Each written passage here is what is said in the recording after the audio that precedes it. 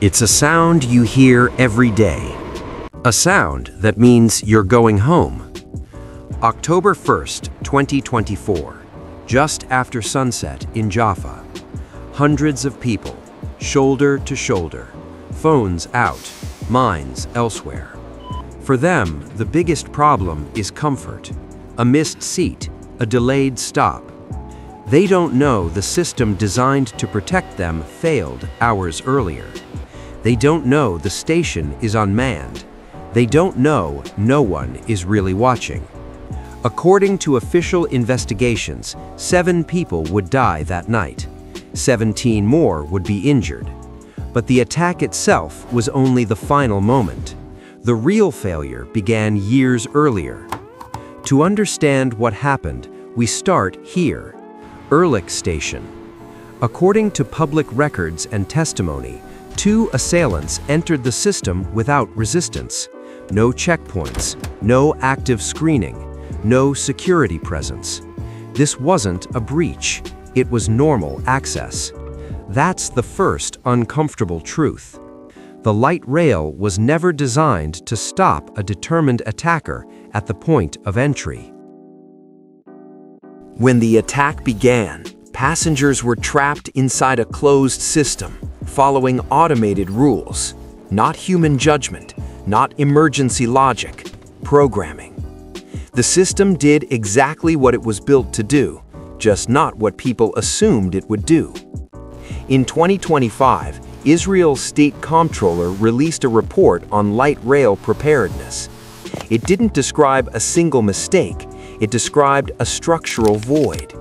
Key finding, there is no clear legal authority requiring specific security standards during the planning phase of the light rail. Let that sink in. The police, the agency responsible for internal security, had no binding authority over how the system was designed. This created a bureaucratic blind spot where responsibility existed everywhere and nowhere. Underground stations change everything. According to the comptroller's findings, emergency communication was unreliable. Radio signals struggled underground. Coordination between police, medical services, and operators was inconsistent.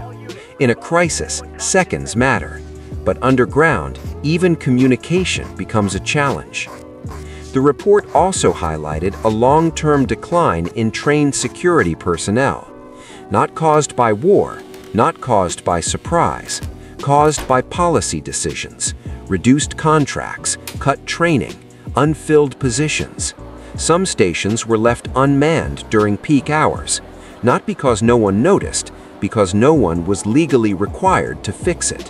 While these gaps widened, construction accelerated. New lines, new tunnels, new timelines.